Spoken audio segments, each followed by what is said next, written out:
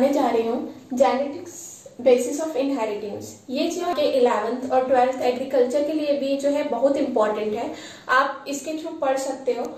जैसे कि हम देख रहे हैं कि जेनेटिक्स की बात हो रही है तो जेनेटिक्स होता क्या चीज़ है?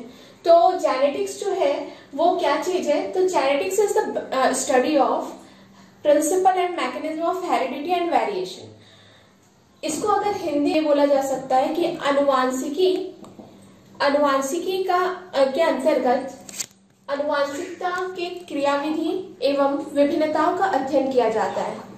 ये जो है जेनेटिक्स जो है, उसमें जो है इसके भी फादर है। जैसे बहुत इंपॉर्टेंट चीज़ है, ये टॉपिक जो है, बहुत इंपॉर्टेंट है नीट के बेस पे, के लिए भी। तो यहाँ पर दिया हुआ है कि फादर ऑफ़ जेनेटिक्स ठीक है? फादर ऑफ़ जेनेटिक्स कौन सा साइंटिस्ट है तो ग्रेगर जॉन मेंडल आपको पता होना चाहिए कि ग्रेगर जॉन मेंडल को पितामह बोला जाता है अनुवांशिकी का। फिर है कि जो हम जेनेटिक्स बोल रहे हैं, वो टर्म जो है कौन सा साइंटिस्ट ने दिया है? तो ये जो टर्म जो साइंटिस्ट दिया है, वो है साइंटिस्ट बैक्शन साइंटिस्ट ने। अब आता है कि मैंने आपको जेनेटिक्स बता दिया और आपको ये भी बता दिया कि फादर ऑफ़ जेनेटिक्स कौन है? तो ग्रेगर जॉन मेंडल जनरली हम इनको मेंडल बोलते हैं बट इसका, इनका फुल फॉर्म जो है, कई लोग जो है जी जे मेंडल भी बोलते हैं। ठीक? अब देखते हैं हम ब्रांचेस ऑफ़ जेनेटिक्स जेनेटिक्स का जो है थ्री ब्रांचेस होती है।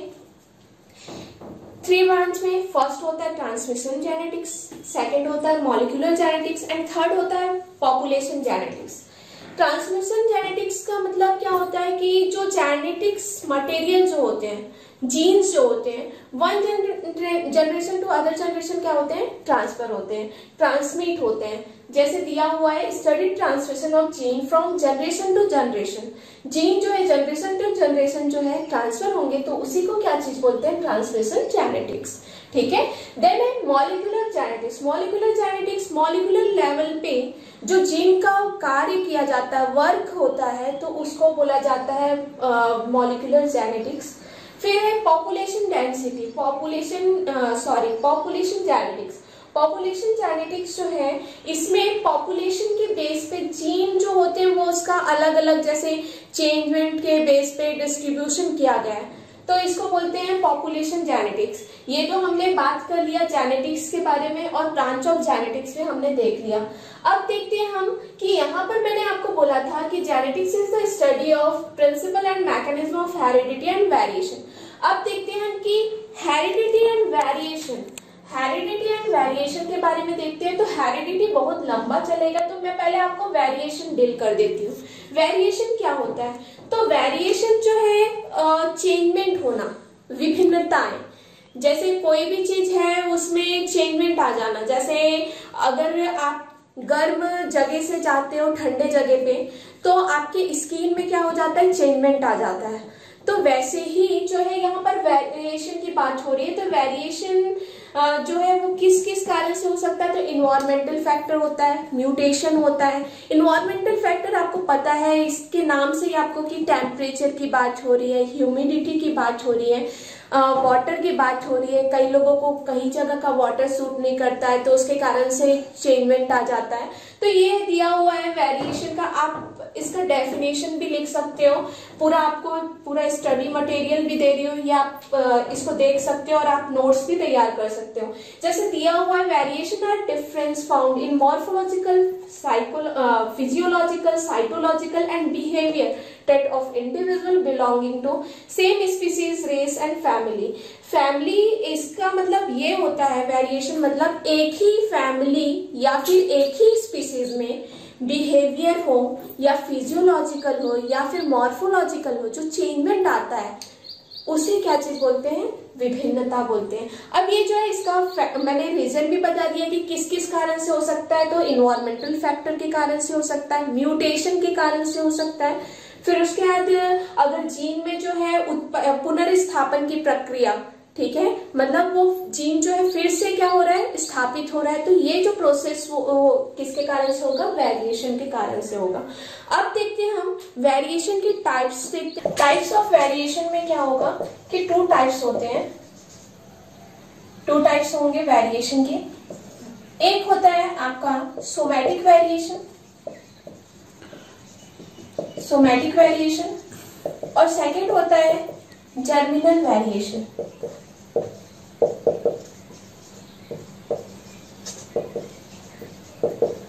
germinal variation somatic variation and second है आपका germinal variation somatic variation after birth ठीक है? आफ्टर बर्थ जो होगा उसे सोमैटिक वेरिएशन बोलते हैं और जो जन्म से ही होगा उसको क्या बोलते हैं? जर्मिनल वेरिएशन बोलते हैं। अब सोमैटिक वेरिएशन जैसे ये किसमें किसमें हो सकता है? ये डेवलप जो है करता है, कहाँ कहाँ पर डेवलप करेगा? तो ये डेवलप करेगा somatic somatic and body cell में ठीक है? अब ये जो है डेवलप करेगा कहाँ पर? सोमैटिक एंड बॉडी सेल में। जिसका कहाँ कहाँ पर ये इसका रीजन क्या हो सकता है? तो सबसे पहले रीजन जो होता है इसका आ, अभी मैंने बताया कि इन्वायरमेंटल फैक्टर इन्वायरमेंटल फैक्टर जो है इसका रीजन होगा।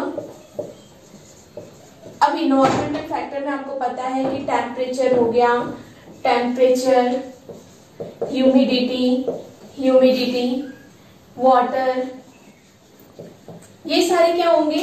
सोमेटिक वेरिएशन होगा। जैसे मैंने आप, मैं आपको एक एग्जांपल दे देती हूँ कि जैसे इन्वायरमेंटल फैक्टर के कारण से। जैसे हम यहाँ पर ठंडे देश में हैं और अचानक से हम चले जाते हैं गर्म देश पे तो वहाँ पर हमको चेंजमेंट उस पर ढलने में टाइम लगता है। और एक चेंजमेंट आ जाता है, विभिन्नता आ जाती है वेरिएशन हो जाता है।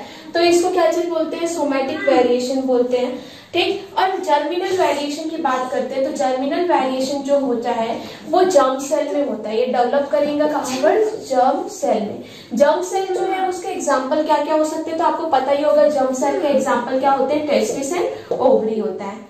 टेस्टिस एंड ओवरी जिसका एग्ज़ाम्पल हो सकता है जर्म सेल में होते हैं। और ये जर्मिनल वेरिएशन जो होते हैं ना, वो भी फिर से दो टाइप के होते हैं। ये जर्मिनल वेरिएशन जो होते हैं फर्दर टू टाइप्स के होते हैं। फ़र्स्ट होता है कंटिन्यूस वेरिएशन एंड सेकंड होता है डिसकंटिन्यूस वेरिएशन कंटिन्यूस वेरिएशन मतलब आपको पता चल गया कंटिन्यूस बोला जा रहा है तो कंटिन्यू जो होता है, उसको कंटिन्यूस वेरिएशन बोलते हैं। और सेकंड होता है डिसकंटिन्यूस मतलब वो क्या होगा? डिसकंटिन्यूस में क्या होगा? कि वो कंटिन्यू नहीं हो रहा है। तो जो कंटिन्यूस वेरिएशन जो है, उसका एग्ज़ाम्पल जो है, वो होता है, जैसे हाइट हो गया वेट हो गया। यहाँ पर मैं बता देती हूँ फ़र्स्ट कंटिन्यूस एंड सेकेंड होता है डिसकंटिन्यूस न्यूस जिसमें कंटिन्यूस में क्या चीज़ बोली? हाइट हो गया वेट हो गया। इसमें जो वेरिएशन होता है, उसको कंटिन्यूस वेरिएशन बोलते हैं। और जैसे ब्लड ग्रुप हो गया ह्यूमन ब्लड ग्रुप पता है आपको कि four type of blood group होते हैं। Blood group A blood group O blood group A B blood group B ठीक है? तो ये जो है डिसकंटिन्यूस वेरिएशन के क्या होते हैं? एग्ज़ाम्पल होते हैं। और बर्ड जो होते हैं, उसके विंग्स जो होते हैं, वो भी क्या होते हैं? डिफरेंट कलर के होते हैं। वो किसमें आएँगे आपके वो किसमें आएँगे? इसमें आएँगे आपके डिसकंटिन्यूस में। और हाइट हो गया वेट हो गया, वो आपके कंटिन्यूस वेरिएशन में आएँगे। ओके हमने वेरिएशन पढ़ लिया। अब देखते हैं हेरिडिटी जो कि मेन है। आपको मैंने दो बताया था, जिसमें फ़र्स्ट आपका हेरिडिटी एंड सेकंड आपको वेरिएशन तो वेरिएशन आपको क्लियर हो गया अब हम जाते हैं हेरिडिटी अब बात करते हैं हेरिडिटी की। हेरिडिटी का हिंदी मीनिंग होता है अनुवांशिकी। अनुवांशिक। ये जो है हेरिडिटी जो है पेरेंट्स टू ऑफ़ स्प्रिंग जो कैरेक्टर जो होते हैं ट्रांसमिट होते हैं। तो उसी को क्या चीज़ बोलते हैं? हेरिडिटी बोलते हैं। जैसे डेफिनेशन दिया हुआ heredity is the study of transmission of character from parents to offspring अगर पेरेंट्स से कोई कैरेक्टर जो है ऑफ़ स्प्रिंग में चाइल्ड में जो है ट्रांसमिट होता है ट्रांसफ़र होता है तो उसको क्या बोलते हैं? हेरिडिटी बोलते हैं। अब हेरिडिटी के बाद हमको मेंडल एक्सपेरिमेंट देखने के लिए हमको इनहेरिटेंस के जो इंपॉर्टेंट टर्म यूज़ होते हैं जो, उसको हम पहले देख लेते हैं, फिर आगे हम मेंडल एक्सपेरिमेंट देखेंगे। तो फ़र्स्ट होता है जीन अब जीन तो नाम सुने होंगे। तो जीन क्या होता है? तो कोई भी ऑर्गेनिज्म में बायोलॉजिकल कैरेक्टर जो डिटरमाइन करता है बायोलॉजिकल कैरेक्टर को जो क्या करेगा डिटरमाइन करेगा, उसको क्या चीज़ बोलते हैं? जीन बोलते हैं। जिसको हिंदी में बायोलॉजिकल कैरेक्टर को बोला जाता है जैवी लक्षण के निर्धारण के लिए जो रिस्पॉन्सिबल होगा, वो कौन होगा? जीन होगा। किसी भी ऑर्गेनिज्म कोई भी जीव में। फिर सेकंड होता है एलिस एलिस क्या होता है? तो alternative form of the gene gene के जो अल्टरनेटिव फॉर्म्स होते हैं, उसको क्या चीज़ बोलते हैं? एलिस बोलते हैं। अल्टरनेटिव को हिंदी में बोला जाता है एकांतरिक क्रम जैसे हम देख सकते हैं कि ये जीन है सपोज़ मैंने कैपिटल टी लिखा हुआ है। तो ये एक जीन है इसी के जैसा ही एक जीन जो होगा तो ये इसका क्या हो गया? अल्टरनेटिव फॉर्म हो गया। वैसे ही जो है अगर हमने स्मॉल टी लिया इसका जो है स्मॉल टी तो ये क्या हो गया? अल्टरनेटिव फॉर्म हो गया जीन का। तो इसी को क्या चीज़ बोल, बोला जाता है? एलियंस बोल। फिर थर्ड है जीन लोकस लोकस क्या, जीन लोकस क्या होता है? तो किसी भी क्रोमोजोम में, जैसे ये सपोज़ मैंने क्रोमोजोम बनाया है, इस तरीके से ये क्रोमोजोम है। तो एक स्पेसिफिक स्पेस होता है जहाँ पर जीन जो है लोकेटेड होता है तो इसी को ही क्या चीज़ बोला जाता है? जीन लोकस बोलते हैं। क्लियर क्या चीज़ बोली मैंने जीन लोकस के बारे में? कि क्रोमोजोम में एक स्पेसिफिक लोकस होगा, एक स्पेसिफिक स्पेस होगा, जहाँ पर जो है जीन जो होंगे वो क्या होंगे? प्रेजेंट होंगे। ये क्रोमोसोम हो गया और ये क्या हो गया? जीन हो गया। तो इसी को क्या चीज़ बोला जाता है? जीन लोकस बोलते हैं। फिर फोर्थ आता है डोमिनेंट फैक्टर डोमिनेंट मीन्स प्रभावी। जो है, अगर कोई भी दो जीन होते हैं, जैसे यहाँ पर मैंने कैपिटल टी कैपिटल टी बताया, ठीक है? दोनों कैपिटल टी टी है तो इसको मैंने अगर सपोज़ दे दिया, लंबा बोल दिया टॉल बोल दिया टॉल जो है वो डॉट पे ठीक है बोने पे क्या रहेगा? क्या रहेगा? प्रभावी रहेगा डोमिनेंट रहेगा। तो इसी को क्या चीज़ बोलेंगे? डोमिनेंट फैक्टर जो अपने कैरेक्टर को क्या करेगा? एक्सप्रेस करेगा। तो इसको क्या चीज़ बोलते हैं? डोमिनेंट फैक्टर बोलते हैं। अब बात आती है रेसेसिव फैक्टर की। तो रेसेसिव फैक्टर क्या होगा? जिसका कैरेक्टर जो है वो क्या हो जाएगा? सप्रेस हो जाएगा। जो डोमिनेंट के आगे जो है डोमिनेंट अपने कैरेक्टर को एक्सप्रेस कर रहा है और जो है रेसेसिव फैक्टर मतलब जो अपने कैरेक्टर को क्या कर दे रहा है? छिपा दे रहा है सप्रेस कर दे रहा है। तो इसको क्या चीज़ बोलते हैं? रेसेसिव फैक्टर जैसे आप एग्ज़ाम्पल के तौर पे देख सकते हैं, ये एग्ज़ाम्पल दे दिया हमने कि यहाँ पर जो कैपिटल टी है, जो कि टॉल बताई मैंने, लंबा बताया तो यहाँ पर जो है अगर दूसरा जीन जो है वो क्या है? स्मॉल टी है, जो कि बॉना है। तो ये जो है टॉल जो है, वो इसके कैरेक्टर को क्या कर देगा? सप्रेस कर देगा और अपने कैरेक्टर को क्या करेगा? एक्सप्रेस करेगा। तो इसी को क्या चीज़ बोलते हैं? रेसेसिव फैक्टर बोलते हैं और डोमिनेंट फैक्टर बोलते हैं। अब बात करते हैं हम, इसके बाद आते हैं होमोजाइगस एंड हेट्रोजाइगस के बारे में। होमोजाइगस फैक्टर क्या होता है और हेट्रोजाइगस फैक्टर क्या होता है? तो होमोजाइगस फैक्टर जो है